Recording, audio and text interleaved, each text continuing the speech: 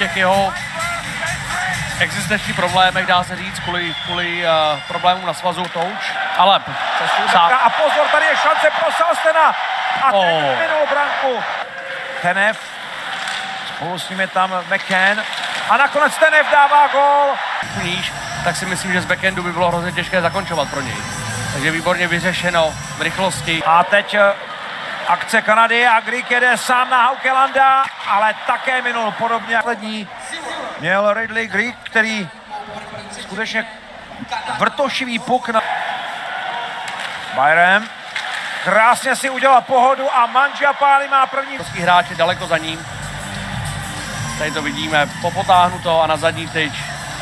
Doma nic neviděl, trefilo to do rukávu. A teď do masky a tohle není gol, Power minulo. A prosí, prosí čárové rozhodčí, ať ho nechají nepřijet. Co to přezul? Přezul. A teď dva na jednoho. Obrovská šance a je to gol, neuvěřitelné. Druhý gol v turnaji. Jsem výborná nahrávka. Patňák Kazins s Heiglem jedou teď na brankáře Haukelanda a Kazins to vyřešil. Třetí branka Dylena Kazince v turnaji.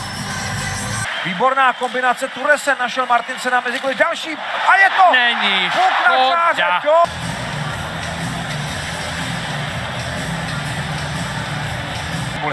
Nakonec pro Kanadu dost pomohl a přes celé kluziště trefuje prázdnou bránu.